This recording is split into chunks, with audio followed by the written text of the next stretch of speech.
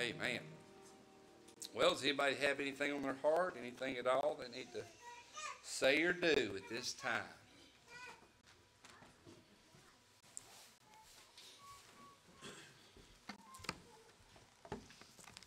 Well, again, I want to say I appreciate the Lord and thankful for the service this morning and the liberty that we had. Uh, thankful for the opportunity to stand and preach. Thankful for the opportunity to tell about the love of God. Is there a better thing to talk about today? I doubt it. Amen. Amen. And uh,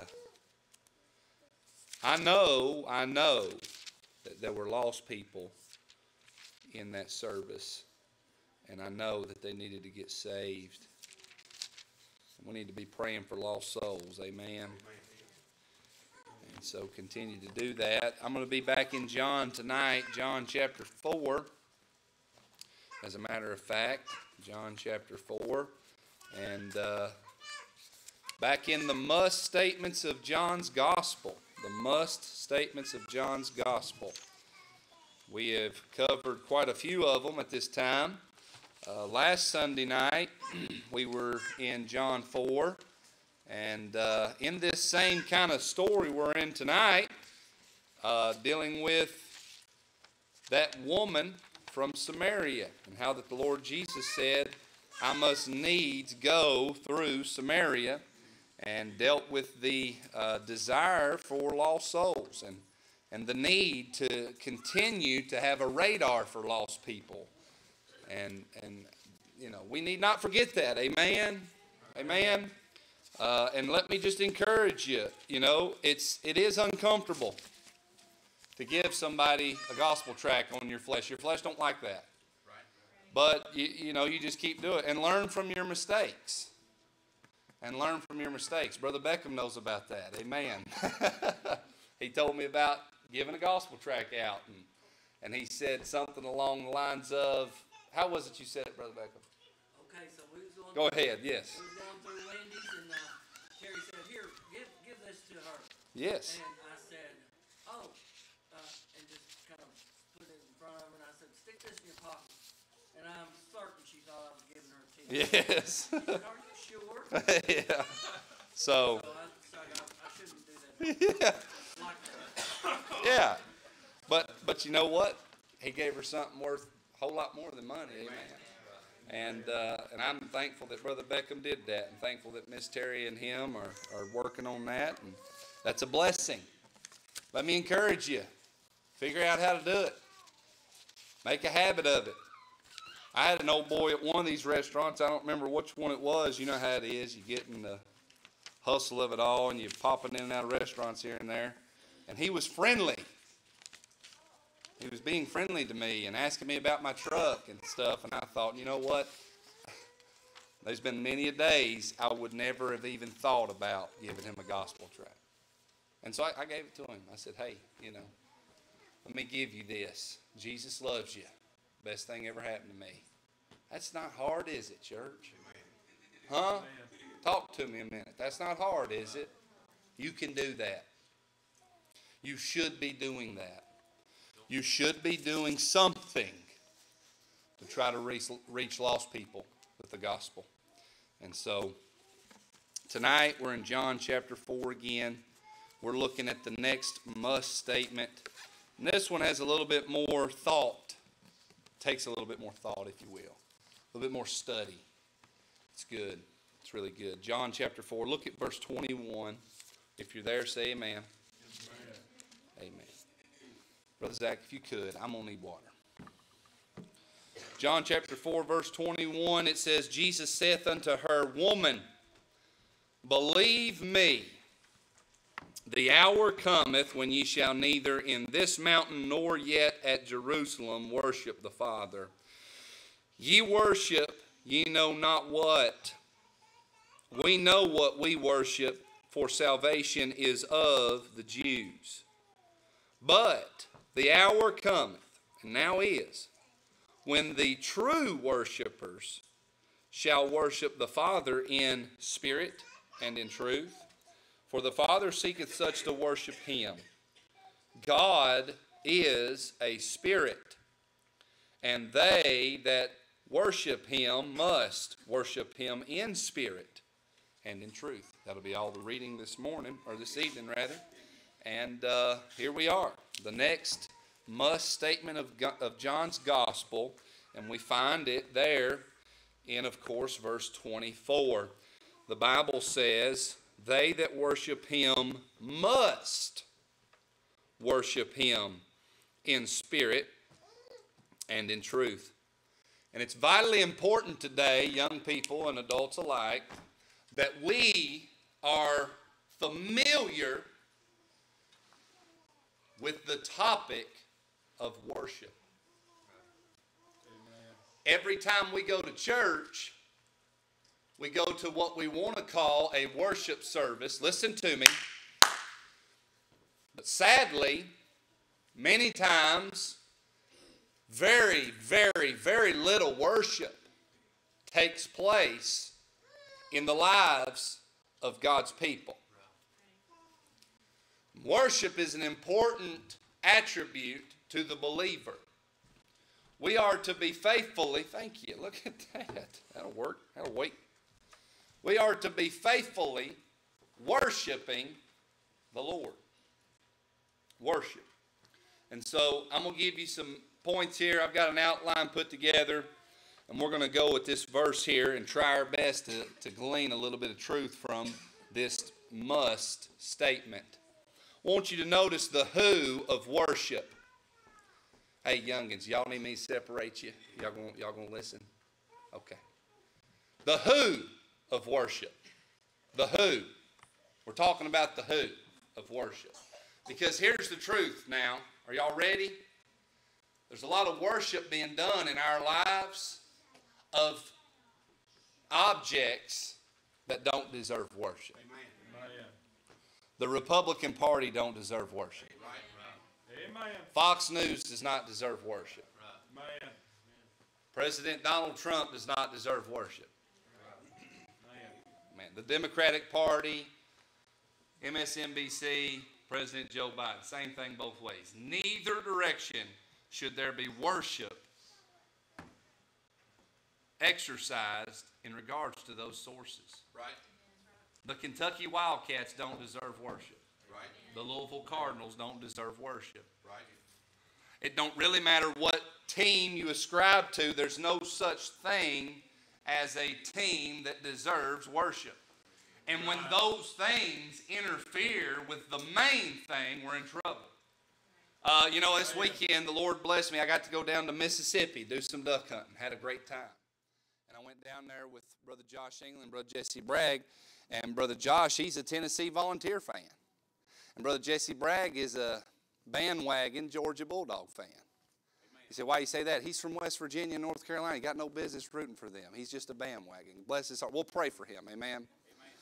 But, uh, but no, we went down there, hung out, fellowshipped, had a great time together. Why? Because there's something else in our life that supersedes that nonsense. And guess what that is? That's nonsense. Anybody that lets that, and you say, Brother Show, you're making, well, let me just tell you something. I've done it before in the past let competitive nature and, and things of, of in those degrees interfere in my life because here's the truth I was worshiping those things. And we ain't got no business doing that. Amen? And so we're here tonight to kind of be reminded about the importance of worshiping God. He's the one in this passage who is to receive worship. And we see that in the beginning of verse 24. God is a spirit. We're talking about worship. There in verse 23. The hour cometh, now is, when true worshipers shall worship the Father in spirit and true uh, and in truth, for the Father seeketh such to worship him. This is speaking about God the Father. And it's informing us of the need to worship him. And in order for us to realize, or I guess you'd say to remind us about the importance and the need and, and the desire to worship God, is the fact that the Bible tells us that God is a spirit, a capital S spirit. And in this statement, there is some important truths, I believe, uh, that we as God's people need reminding of. The first thing that we need reminding about in the statement uh, that God is a spirit is the fact that God is has, if you will, invisible perception can't be seen. The Bible tells us this in a couple different locations. The book of Colossians chapter 15, uh, 1 and verse 15 says, Who is the image of the invisible God, the firstborn of every creature? Uh, uh, for by him were all things created. And so we see that uh, this statement that God, listen to me, is a spirit. He is spiritual. He is not physical. He does not bear the limitations of our physical body, for he is a spirit, uh, we see that he is, uh, has invisible perception. You can't see him. Can't be seen. John chapter 1 tells us that no man hath seen God. Bible tells us that if we had the ability to see him, that it would be so hard on this flesh of ours that it would destroy it today. It's who God is. Who are we worshiping? Why we're worshiping the God of creation. He is a spirit. He has invisible perception. You can't see him. He has infinite presence in this spirit. Again, he is not limited by the boundary of a physical body. No, God has a spiritual body, and this spiritual body of God uh, does not have a limitation in His presence. He is everywhere today. God is everywhere today. In the book of Psalms, chapter 139, the Bible tells us, Yea, they shall sing in the ways of the Lord, for great is the glory of the Lord. Well, that was chapter 138. That's just as good. It's all good. Amen. 139 7. Whither shall I go from thy spirit? David said. Whither shall I go from thy spirit? Whither shall I flee from thy presence? You can't get away from him. Boy, that's good today.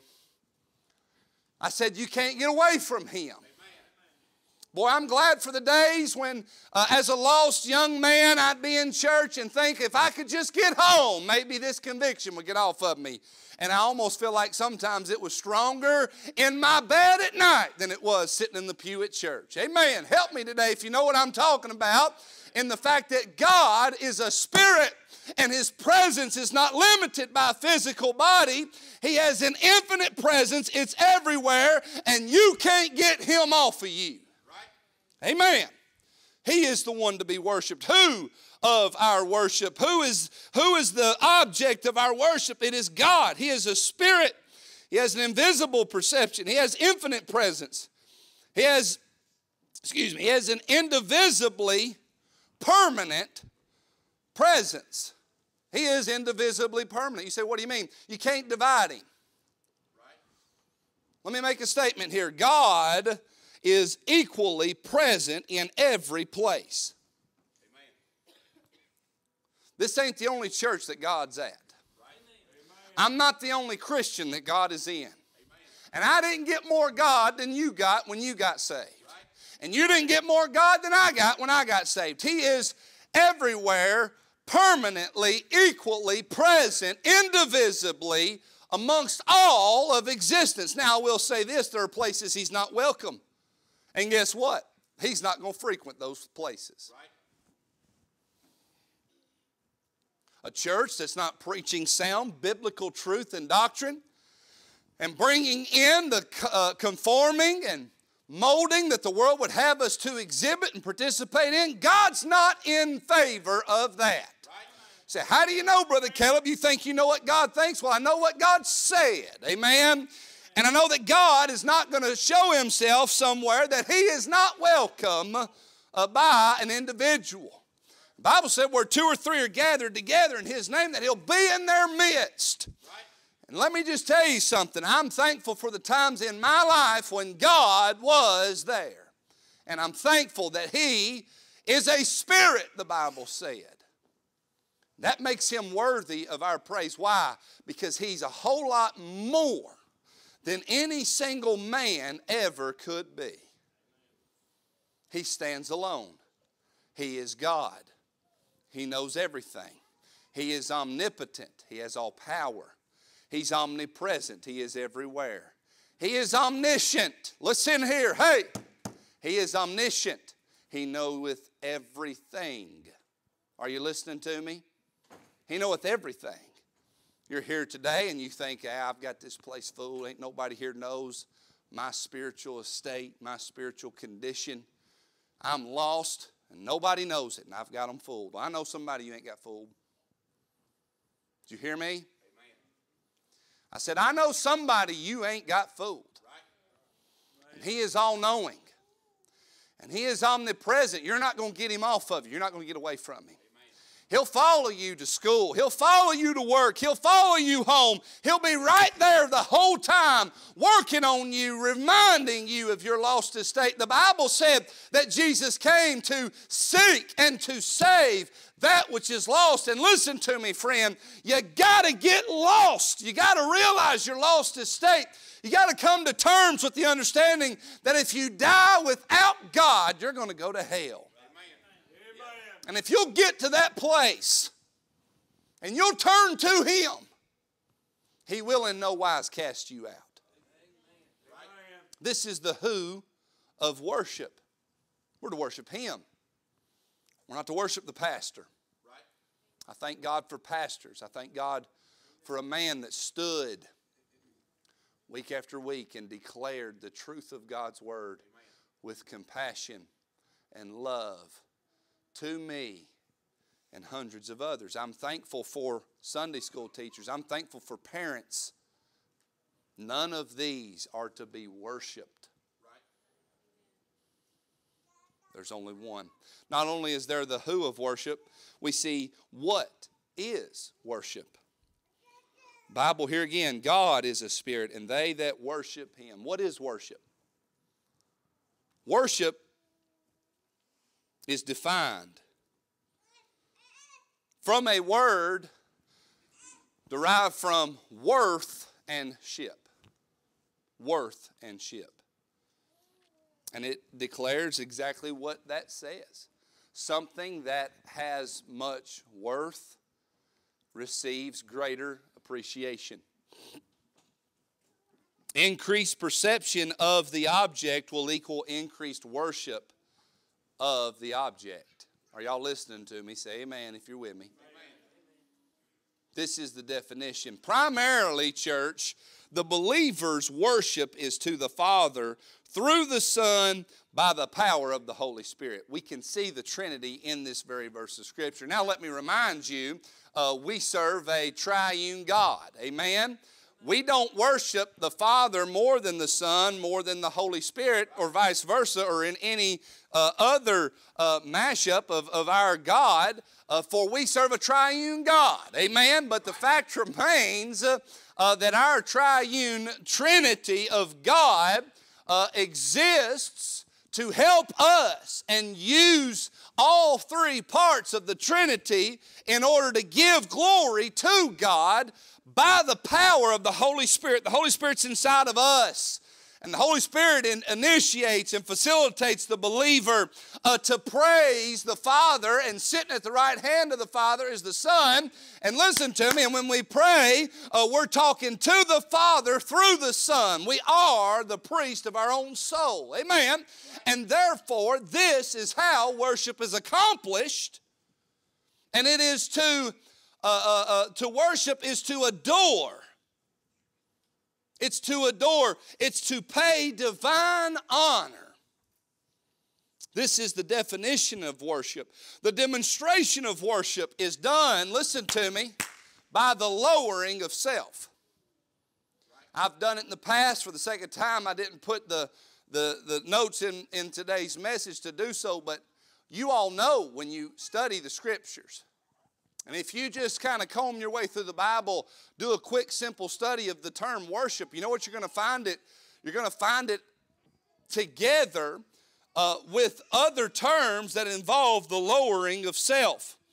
It is always accompanied by uh, being prostrate before God, laying down on your face. It, it's always accompanied by somebody, listen to me, that gets overwhelmed with God's goodness and is uh, uh, uh somewhat, if you will, repentant about their sin or or, or sick of their flesh or sick of their, their sorrow. And, and when you find this worshiping of God throughout the scripture, you will find them uh, on their knees before God, on their face before God, lowering them, themselves, uh, uh, uh, uh dumping ashes on themselves, things of this nature. Why?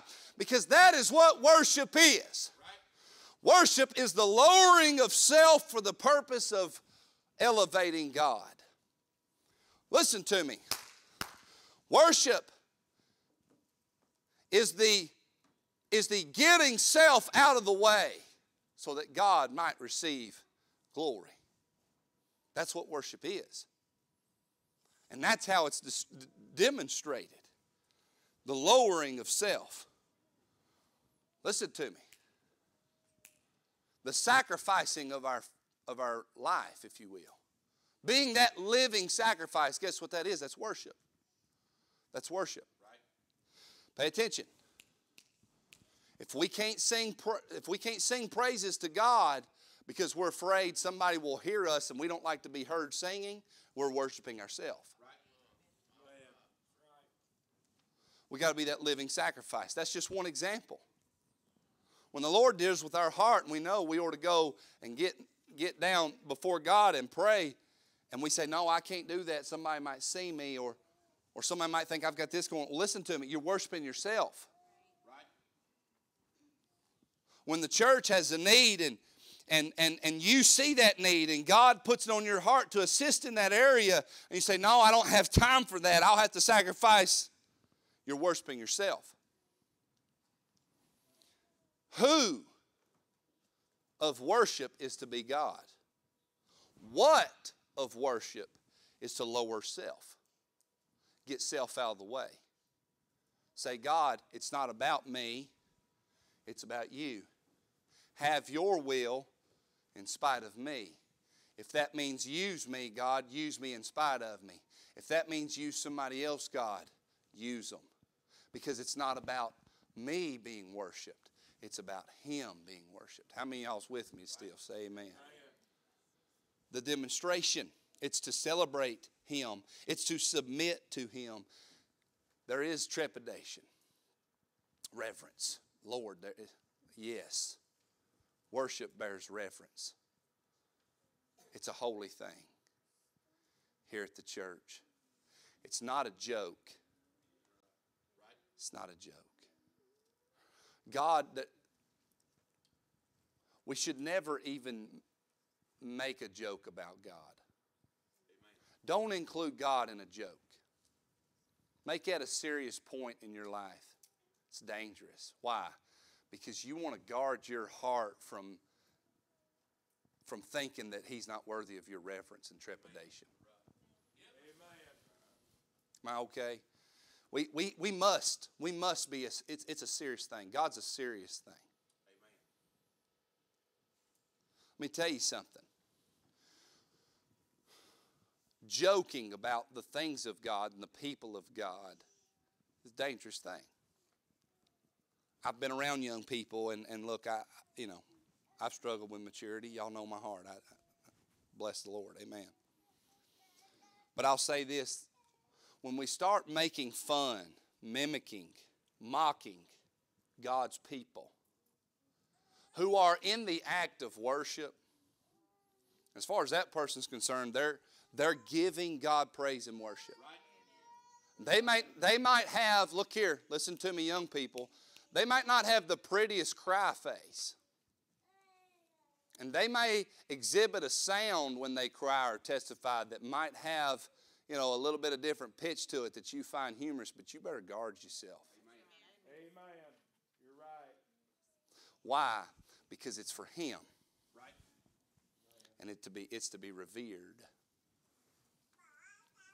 This bunch of joking about the things of God, mocking what goes on with God's people around God's church, making fun of preaching, making fun of the way preachers preach. Somebody that is worshiping God the best that they can, sacrificing their flesh and doing what God would have them to do. Are y'all with me? Y'all understand what I'm trying to say? It's a it's a reverential emotion expression to God. We got to be careful. Got to be careful about that. Making jokes, mocking. Vain janglings, the Bible calls it. There's a demonstration, there's a distinction. You know what the Bible tells us there in verse 23? the hour cometh and now is when true worshipers. There's a distinction, isn't it? You say, what's the distinction, Brother Caleb? True versus false. Look up here. True versus false. Real versus fake. How many y'all have heard Brother Caleb make his statement? And I've heard preachers say this fake it till you make it. Fake it till you make it. If service is, is dry, work something up. Fake it. Nope. Nope. That's not scriptural. Nowhere is that found in the Bible. Nowhere is God an endorser of faking worship. Nowhere. Not one time, not one place. Not one time, not one place. What should we do about that? We should really emphasize the importance of being true and real.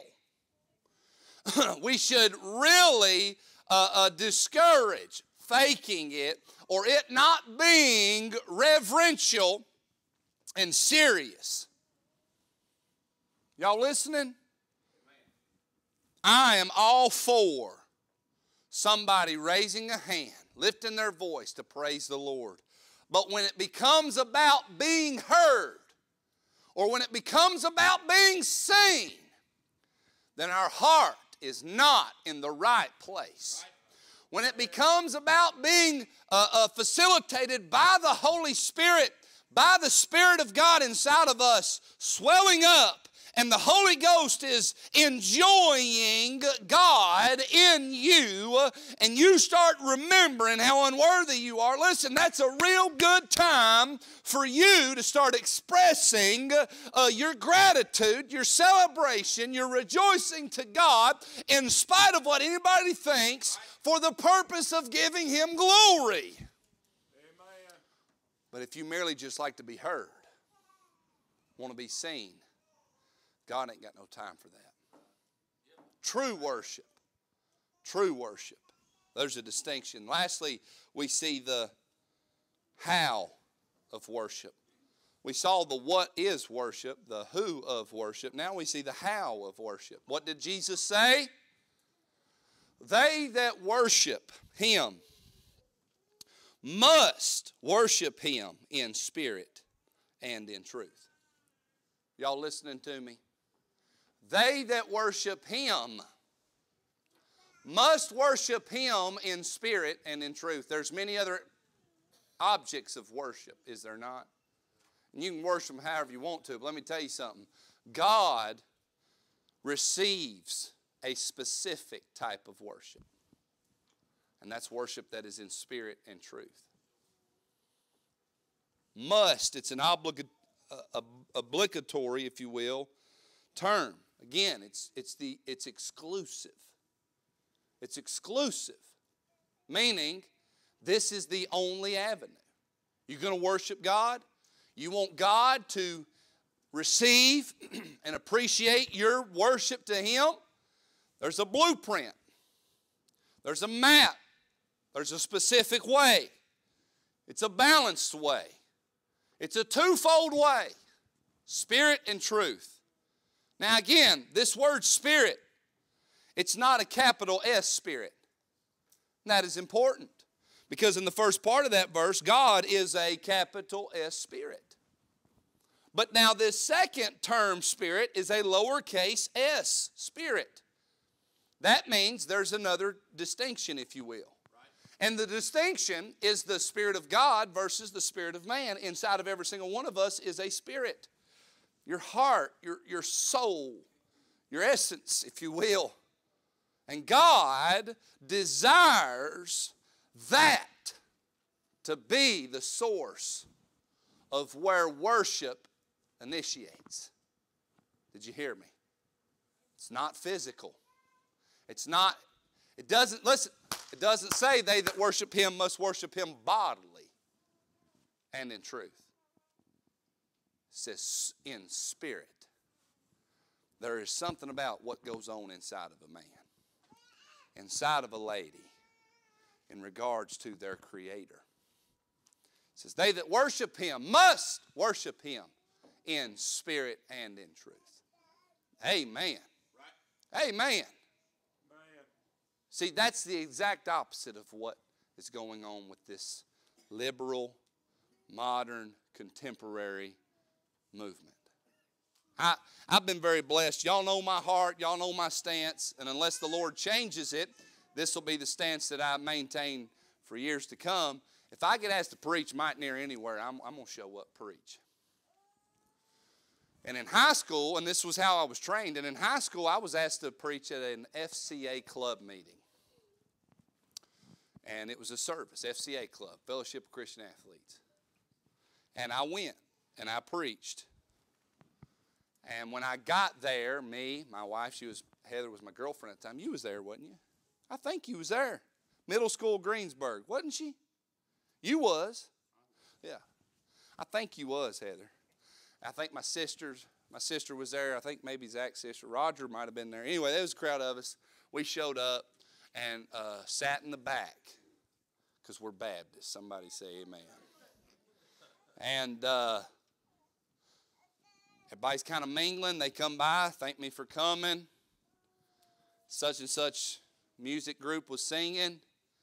They get up on the stage. They shut the lights off just on the stage and everybody immediately stood and held their hands like this. I mean, immediately, when the first guitar strum went through, everybody bodily stood and held their hands like this. You see, now that's the problem. They were facilitating their worship bodily without any spirit facilitation. Does that make sense? Is that resonating with y'all? Listen to me. Is that resonating with y'all? We must realize the importance of worship being done in spirit. In spirit. Not only in spirit, but in truth. What is truth? It's that Bible you hold in your hands.